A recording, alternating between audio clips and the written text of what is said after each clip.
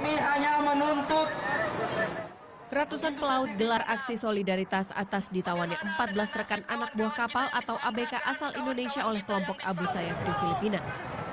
Mereka juga menyayangkan aksi pungli yang kerap terjadi selama pelayaran. Mereka menilai insiden penyanderaan ABK asal Indonesia di Filipina menunjukkan kurangnya perhatian pemerintah terhadap keamanan laut. Meski mengaku sedih dan tak mampu berbuat banyak, kabar tentang kondisi 14 ABK yang dalam keadaan baik sedikit menghibur. Dan kita ada link sana juga, kondisinya 14 orang aman-aman saja.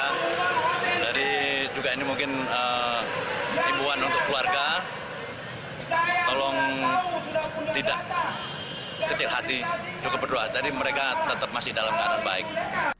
Tahun 2011, pembajakan kapal Indonesia beserta anak buah kapalnya juga terjadi di perairan Somalia.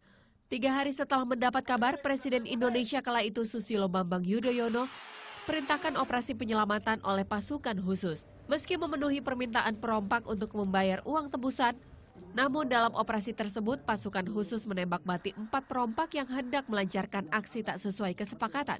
Dalam jangka waktu dua bulan, seluruh operasi khusus terhadap KM Sinar Kudus tuntas dan ABK dapat diselamatkan.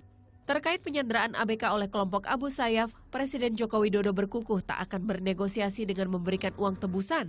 Hingga saat ini pembicaraan bilateral juga terus dilancarkan antara Indonesia dan Filipina untuk dapat kirimkan tim khusus dari TNI demi menyelamatkan 14 ABK asal Indonesia yang masih disandra kelompok Abu Sayyaf.